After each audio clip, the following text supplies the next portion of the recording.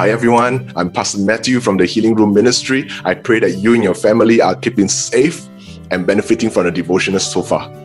Today, we'll be looking at 1 Corinthians chapter 13, the chapter on love. The previous chapter is about spiritual gifts, right? And this chapter is about love. The link between the two can be pretty obvious.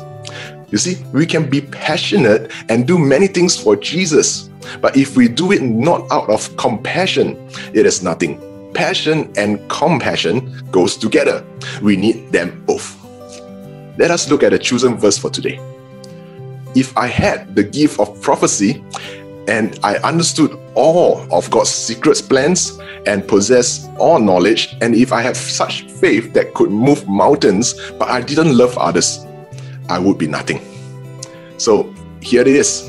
I believe that this verse sums up the whole chapter. You know, in my years of ministering in the healing ministry, I learned that the pastoral heart and the healing anointing, they always goes together. They cannot be separated. If you lack compassion for the sick, your effectiveness will be limited, even if your gifting may be real. Let me give you an example. You know, a few weeks back, um, the COVID 19 situation in India went out of control. You might have heard the news, right? Um, the situation in India is actually now very bad. They call it wave two. The pastors were telling me that almost all their church members are sick in some way, and people are being turned away from the hospitals because hosp- hospitals are full. Many are left on the streets or they are turned home. Uh, in fact, some pastors I know actually passed away. Uh, it was a very sad time. So lately, I've been organizing lockdown healing meetings. Right, that's the name. Um, uh, and this is for the pastors and the people in India via Zoom. I remember that um, in my first lockdown healing meeting, uh, there were more than 100 people, but almost every one of them had their cameras turned off. And, and I was there sitting there and wondering why? Why is it like that? Later, I realized that these people were actually COVID positive. They didn't want people to recognize them. Some of them had their loved ones beside them at home, gasping for air and fighting for their lives.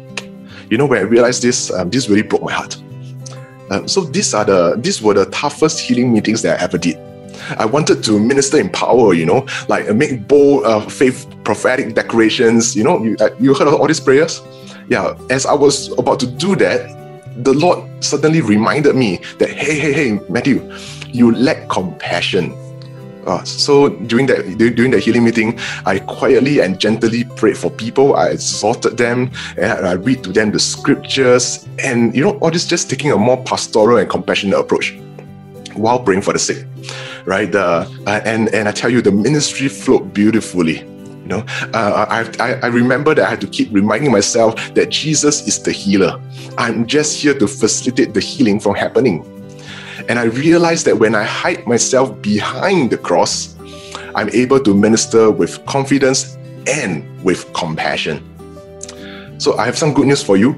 You know, um, three to four days after each healing meetings, I, re- I actually received reports about how people who came to the healing meetings actually recover from deathbed situations. Well, not all of them recover. A few of them died, but more could have died because these people who come to the healing meetings, um, they have no access to oxygen supplies. So I really thank God, you know, thank God. So guys, um, if you find yourself lacking in compassion, ask God for it. The Lord hears and He will bless you with a heart of compassion as you become more and more like Jesus each day. Amen. Let us pray. Lord Jesus, let the compassion you have for us rub off on us. Open our eyes and let us see people like how you see them. I pray for my fellow pastors and leaders who are feeling that their compassion is running thin. May you refresh them today and give them good rest. In Jesus' name, I pray. Amen. Amen. Wow. Thank you for joining me today. I pray that you have a great day ahead.